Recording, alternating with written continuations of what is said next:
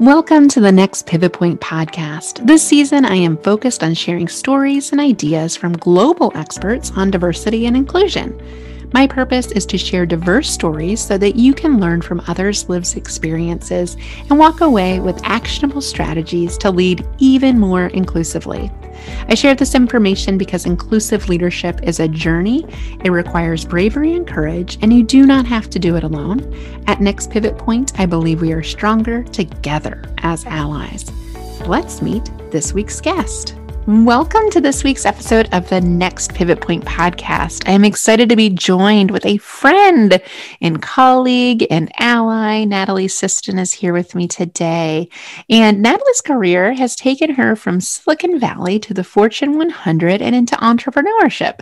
But being raised in Republic, Ohio, population of 600, yes, is where she learned her greatest leadership lessons. Natalie uses these lessons learned from small town living to help leaders and organizations organizations create big success in the world. In addition to being a 10 year 4 H member and repeat state fair champion in public speaking, Natalie is a two time graduate of The Ohio State University, Go Bucks, and a professional coach accredited through the International Coach Federation. She has 20 plus years of experience coaching, developing leaders, and strengthening teams in the nonprofit, higher education, and corporate sectors. She works with both one on one and small group coaching clients to help them be more connected, to be themselves, live their work, families, and communities. She is a frequent speaker at leadership, university, and corporate events. She resides in Columbus, Ohio with her husband, Rob, and two young daughters. Natalie, so good to have you. I'm so glad we're doing this. I'm surprised it's taken us this long. I know. We've known each other for many years. So, we for have. our listeners, um, I'm a Buckeye uh, and spent some time uh, in corporate America at Nationwide Insurance, where Natalie also worked until recently when she started her coaching and speaking business. And she's kind of had it as a side hustle. And so, over the years, we've had a chance to talk and brainstorm ideas. And she's been really helpful in connecting me with amazing people. Uh, and I've been thankful to help her um, with her new book. It's so exciting. So let, let's start the conversation there, Natalie. Let Her Out, listeners, is the book that you got to get. Um, Natalie, when did you have this idea to write this book? And like, tell us what it's been like to write a book. So the book writing process is interesting because a lot of people have asked me, how long did it take you to write the book? And I said, well, there's two answers to that. I said, one answer is that it took me uh, six months because I it was April of 2020 when I actually committed to writing the book and it was published in November. I said, or the answer is 32 years because it's based on the diaries I found that I've kept since I was eight years old. So Let Her Out came to me in November of 2019. I actually pitched the idea for a TED Talk in Columbus and thought like this is my TED Talk. You know, it was I was almost ready to turn 40. I'd found all these journals and diaries and and the title just popped to me like Let Her Out, reclaim who you have always been because when I started opening the covers of these diaries, I'm like she is who the world needs more of that bold, sassy, confident person who somehow over the years has just kind of beat herself down and not shown up fully. And that's a great TED talk. And then I was rejected. Um, so it didn't happen. And then I quickly pivoted and turned it into some keynote uh, pitches. And I ended up getting it accepted to four different stages in the spring of 2020. And then those all got canceled because of COVID so I, I, had a decision to make, you know, because I, I, hadn't written like, let's talk about being a speaker. Like you make a title and a 30 or 100 word a description, and then you write the presentation after you get accepted. So I hadn't written the presentation. I just had it accepted all over. And I thought, well, I can either just throw this away and forget that I ever had the idea or I could do something with it. So I, I invited whoever wanted to come to a Zoom session in April to listen to my keynote. I actually made myself write the keynote and delivered it. And the next day, I got on the phone with a book coach, Cathy Fyock, and I said, I think this is my book. Can you help me with it? And within the half hour, we had the outline written for my book. That was in April. And um, I had a first draft by Memorial Day. I had a final draft by Labor Day. And then I was out in the market in November. So, wow, I didn't realize it happened that quickly. I know. I mean, and when I was in it, it didn't feel like it because it was all I thought about. It was like all consuming. Like, I should be working on the book, I should be editing the book. But for me, it was more of a curation because I, the hardest work in writing the book was reading all the diaries. I would sit down at my computer with a diary in my hand and all these colored coded post it tabs. And I would be typing out certain passages that I thought reflected certain themes for the book. And I had, I've already written, I'd written a blog since 2016. So I had a lot of great material that was there um, and a lot of just uh, you know so tip for people who want to be future authors even some of your long social posts you know, those things you you you say those have those turned into book content.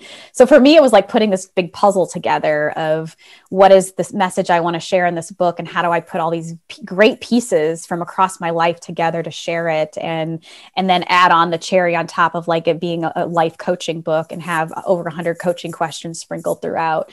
So for me it was just it was a fun experience of like putting something together. I like to solve problems, and this seemed to be like the ultimate product of that.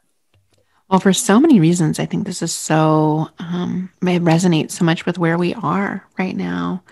Um, out of a pandemic, right? Something positive came. and this is a great success story of gave you the time to dial this in, to go through those journals and how that must have felt to connect with your eight year old self. I, I, can only imagine, Natalie, what that would be like. Probably laughter, tears, probably everything in between. Yes, all of it in between. I think what's especially interesting is my daughters are eight and 11. So I was thinking about them in the context of what I was writing at the time. And I was like, did they have a crush on a boy right now? Did they like, you know, are they having body image issues? Are so it's helping me with my parenting because I'm finding ways to ask those things without feeling like I'm intruding in their privacy or wanting to read a diary they're writing. But um, yeah, but I also just, you know, feel like we're living in a different day and time where there's no way my daughters have a crush on a boy right now. right. They couldn't possibly. We don't see any boys, so why would they? or, or girls, whatever the case might be. exactly. Um, yeah, because we know doing the work that we do with women and confidence confidence peaks at age eight. And when you think about when you found those journals, that's not true for every woman, obviously. And it's true sometimes for men as well. But a lot of the research from the book Confidence Code I thought was really helpful a few years ago when I was helping women with confidence. Oh, wow, at age eight, that's deeply disturbing and troubling. And why is that? It's not a biological thing, it's a socialization thing. Start teaching girls at that age body image, be smaller, right? You want to be skinny. My, my daughter's already said things like that at age six uh, because of what you see projected in the media, um, what you see on television. Um, also, we know for kids of color, you don't you're less likely to see yourself reflected. Women or, or girls are less likely to see themselves as a protagonist in a movie. Um, they're doing better, I will say. Still a lot of work to do in books and all sorts of things, but these images are fed to kids and then to your whole point like i was i was intact. I was this good human, right? And and what it took to like 32 years later to like go back to that. Like the person you've always been is who you are. But people lose sight of that later in life. So give us a window into some of these coaching tools for people that might be on the verge of uh, midlife crisis or you know just a pandemic like who am i i know a lot of people are like who am i on the other side of this it's a great moment for pause but it's hard work, you know, it's introspective work that we help our clients with. What are some tips if you're wrestling yeah. with oh, dialing oh, in? I love the question, and you're exactly right. Like it, it is ironic titling a book "Let Her Out" when we're all feeling locked in. So it's like read the book now. That way, when you can actually get out, you're like, "This is who I'm letting out. I'm letting her out." So the her is is you at, at, at your core. And i walk everybody through four steps in this book and they each come like i said with work you know worksheets and everything's available for download on my website. Go check it out even without the book in, in hand. And the four steps are to remember her so that's really the visceral like you know i'm going to go find pictures and remind myself what i looked like. What did my smile look like? Where was that glint in my eye? Um, you know how was my hair cut and that bowl cut type of thing? But really just finding yourself in, in, photos and even in images if you don't have them of yourself of, of people at that time to remind you of who you were and what you're experiencing and reminding yourself of the things you really loved doing at that point in your life. And then the second step is reconnecting. So, if remembering is like finding the surface, reconnecting is digging at a deeper level and getting you back to your bones. And so, for me, that's where having a diary was extremely helpful because I was able to read the emotions I was feeling. You know, when, you know, I experienced the death of a classmate when I was in sixth grade and I wrote about that. And, and obviously, I can still bring myself back to that moment just because it was such a big event. But reading it in the diary that in the pen, pen that I wrote when I was 11 brought me viscerally back to that moment. So we need to find ways to reconnect to the emotion of who she was because if we can you and I both know if we can you know think and then feel who she really was she's more likely to show up at the surface and then the big work is in the third step which is recognizing and re- removing barriers to her and that's where you and I both coach hard and know all of these confidence issues come in. It's the fact that we have built barriers ourselves either directly because our brain has told us to or society has told us to or maybe there truly are hard and fast barriers to play. Maybe there's a time money access issue going on. I don't ever want to downplay that. A lot of times those are the easiest barriers to get get over because once we tell ourselves I want to get over it, we'll find a way to find the money, find the time, find the help we need.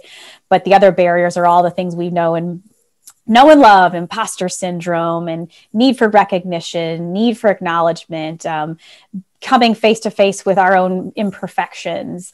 And you know i tell everybody in the book that for some of these things i'm still working on them. It's a daily like chipping chipping away day by day. And other things it's there those barriers have been totally torn down because i've chosen to.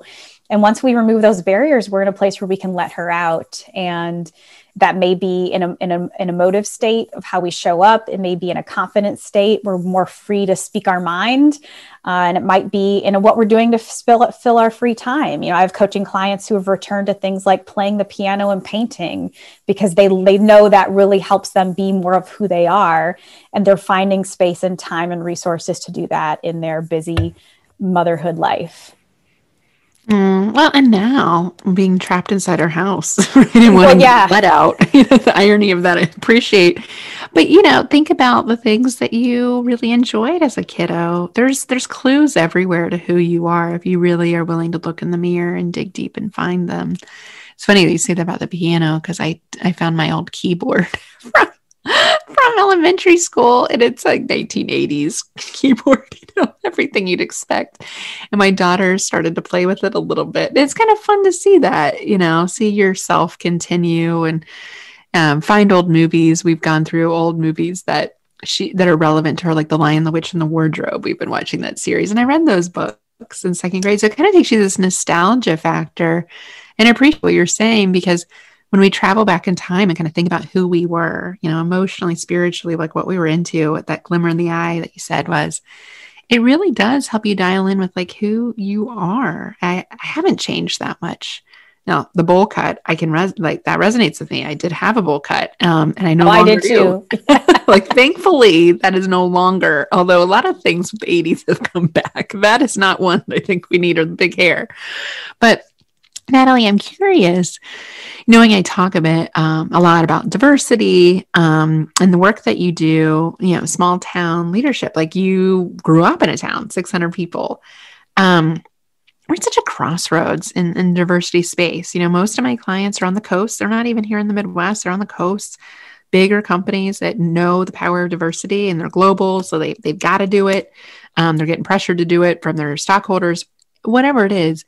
I don't see that same thing happening here in the Midwest with small to medium sized companies. Like, yeah, it's a nice thing to do, um, especially in rural communities. You know, my clients that reside in rural communities will say this is a really tough conversation to have. I'm curious from your upbringing and vantage point in rural America, what, what do you think the deal is with diversity?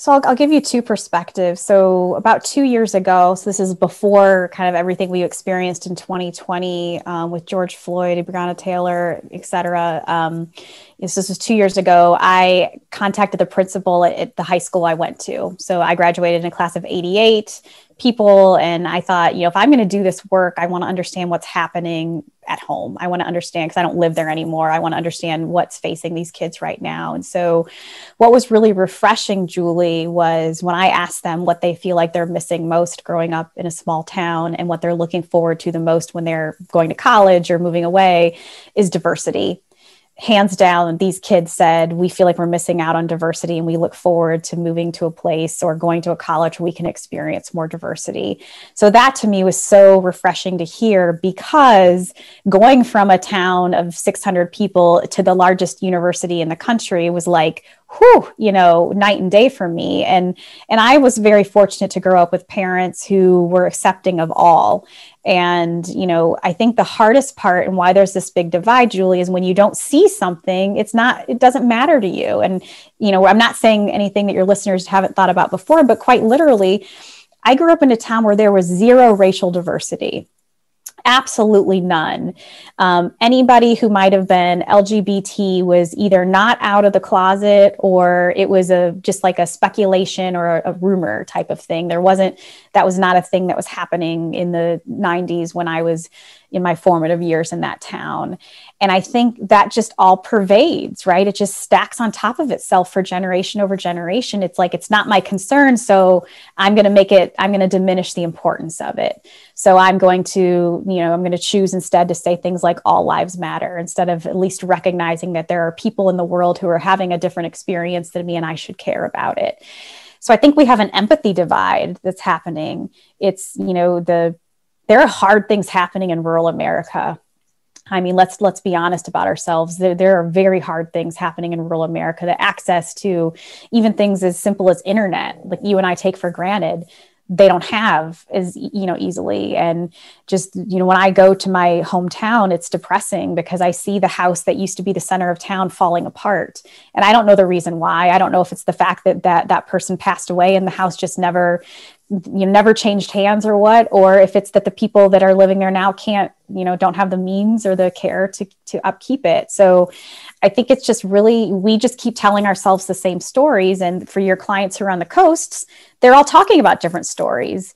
And for the people who are in smaller towns, rural areas, they're talking about the stories of things that are happening there. And there's such a fear um, so it's an empathy divide and it's caused by so much fear. Like, I don't understand who these people are that they're talking about because I don't see them every day.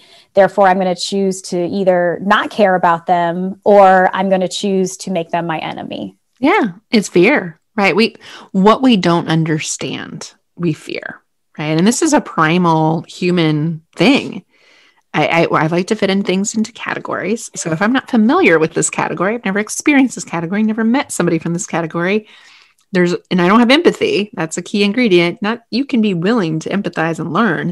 If you choose not to, fear will override that. And it leads to some problematic behaviors that I think we've very much seen in the news cycle over the course of the last year. And I'm glad you addressed that because it, it's hard to understand what we haven't experienced. And that's where the curiosity and the empathy as an ally is so important to be willing to understand things that you can't possibly fully understand.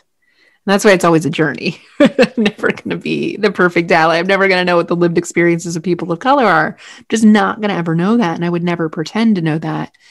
But it does require me to put myself in pretty vulnerable positions um, you know, to think about growing up with zero people of color. That is just so fascinating. I grew up in central Ohio, not too far from where you grew up, but more towards Columbus, which is a more diverse city by way of the university mostly.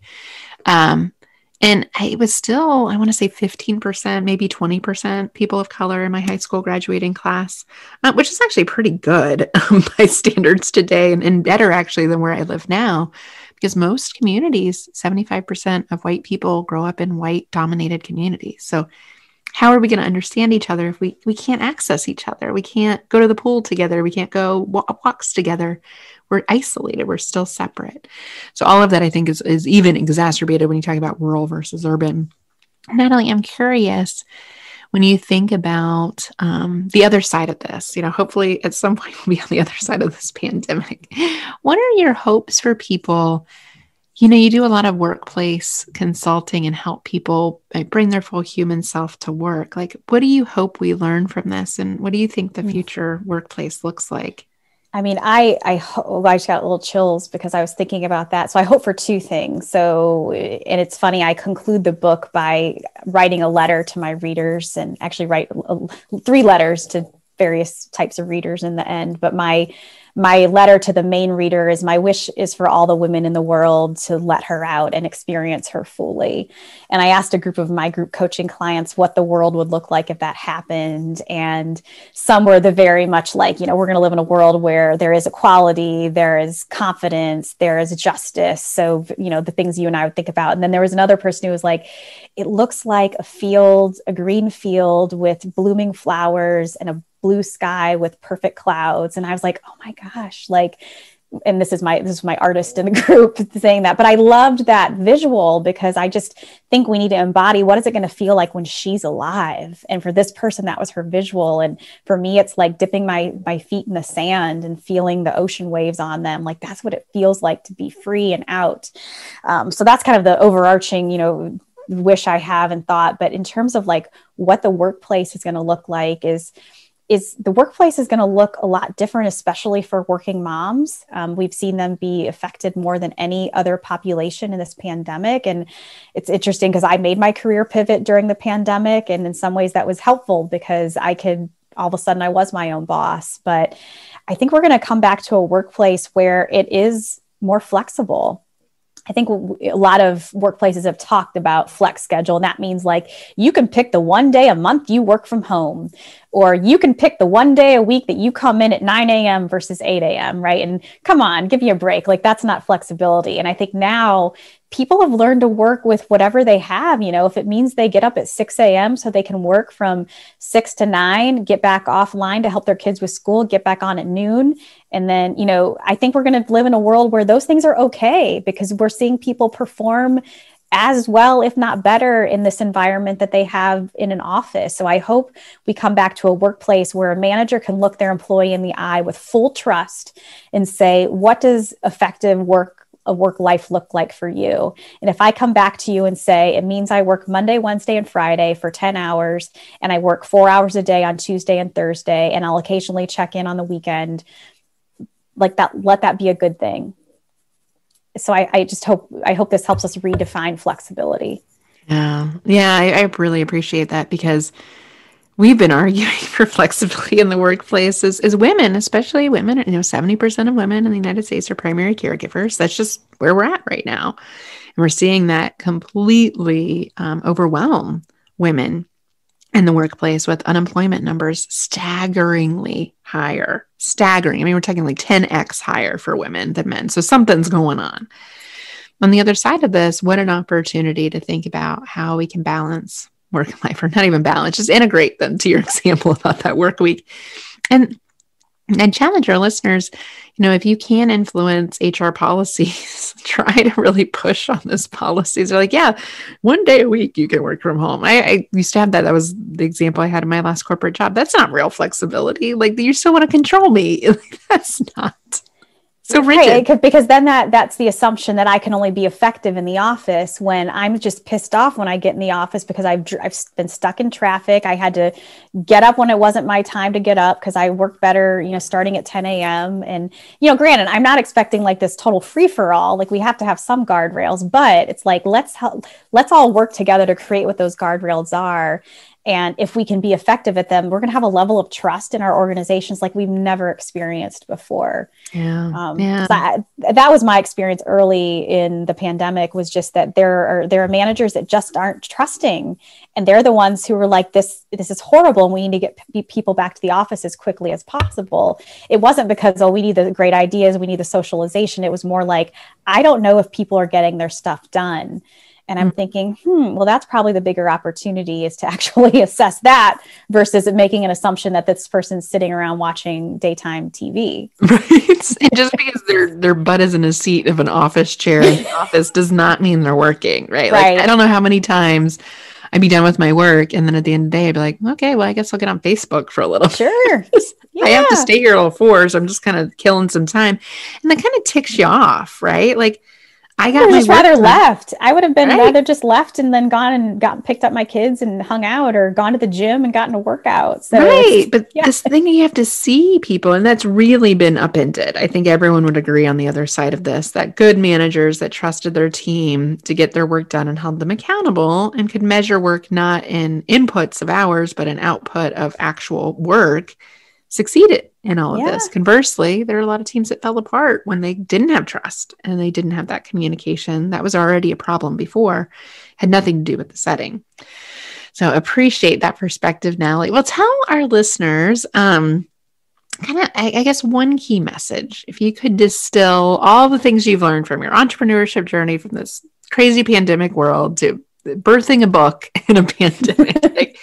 What's one key message you think will really resonate, or one thing you'd like people to take away from the conversation?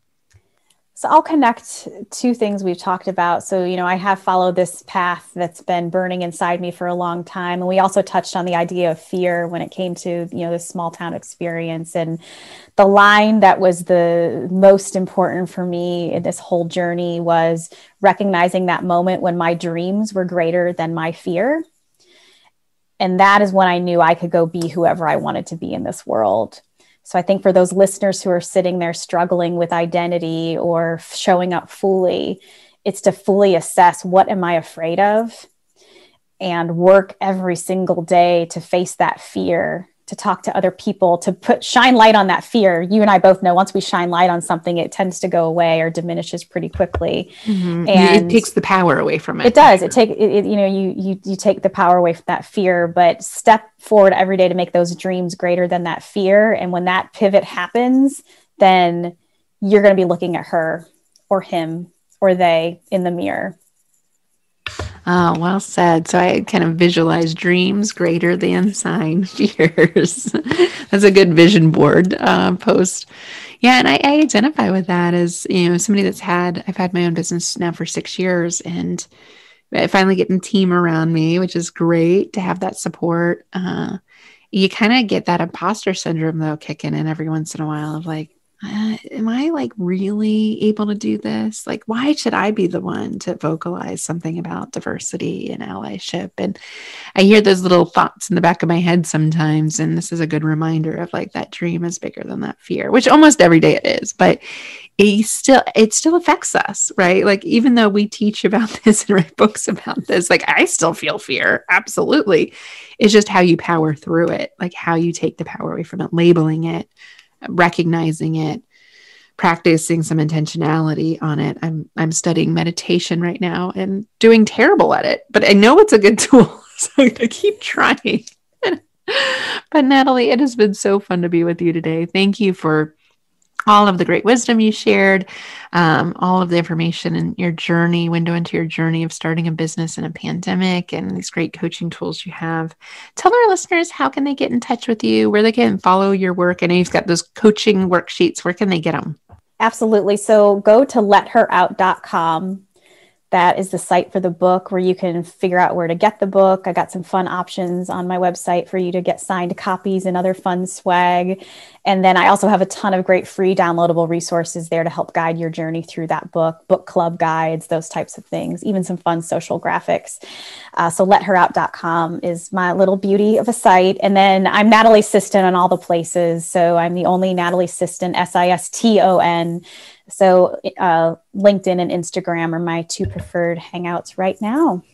That is awesome. Well, listeners will link to that in the show notes, letherout.com, and be sure to follow Natalie on social media. She has a great, great doses of positive energy in your social feed, which I think I always appreciate.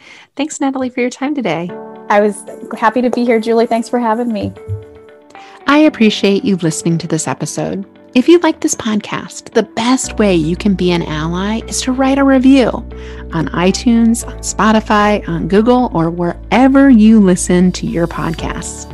Every review helps other allies find us. I host this podcast because I believe we are stronger together as allies.